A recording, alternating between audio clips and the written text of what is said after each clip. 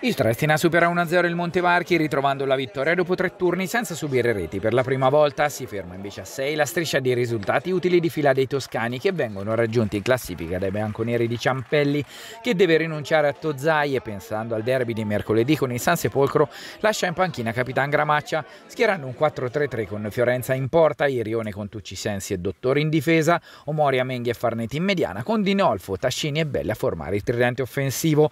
Nel Montevarchi non c'è Benucci Benucci e Calori punta su un 4-2-3-1 con Spurio fra i pali, Artini, Francalanci, Locatuorto e Quaresima nel reparto arretrato, Pardera e Muscas a centrocampo con Lischi, Casagni e Boncompagna a supporto di Priore.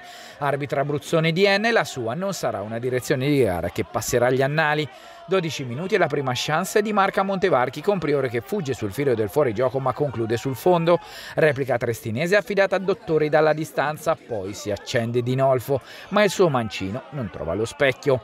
Il primo tempo è tutto qui, mentre la ripresa si apre con il gol che decide la gara. La combinazione fra Dinolfo e Tascini al minuto 51 è fuori categoria, con il 10 che cucina, il 9 che apparecchia e il 10 che serve di nuovo in tavola. La magia che strappa gli applausi del Casini. 1-0 Trestine, terzo centro in campionato per Dinolfo. Il Montevarchi prova una reazione, ma la chiusura di Sensi, partita superlativa la sua in tandem con Contucci, vale un gol.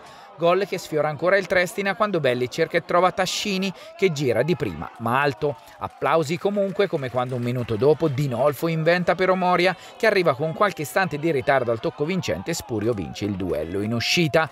Dinolfo pesca nel gonnellino un'altra giocata delle sue che porta Belli al tiro con il destro, palla che gira sì ma non abbastanza per finire in rete.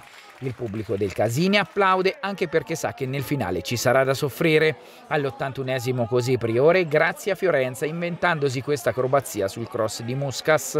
Poi Franca Lanci manca l'inzuccata vincente al minuto 89 e Fiorenza fa tremare i suoi nell'unico svarione della sua gara uscendo a vuoto al minuto 94 e si arriva così al 97esimo quando il 9 è entrato Conti ha sui piedi la palla del possibile pari ma la sua conclusione centra la barriera Triplice fischio di Buzzone, Mister Ciampelli può correre come un forsennato verso la moglie Maria Sole, cuoca sopraffina e vera artefice della vittoria bianconera.